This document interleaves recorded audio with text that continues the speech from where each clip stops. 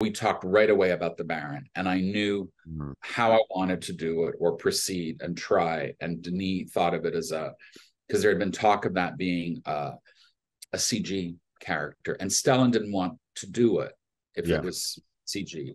And we talked about it being a marriage of CG and practical. And I really believed it could be a practical makeup. And again, I don't sell myself as really a prosthetics makeup man, but at the same time, I I knew that there was a way to do this.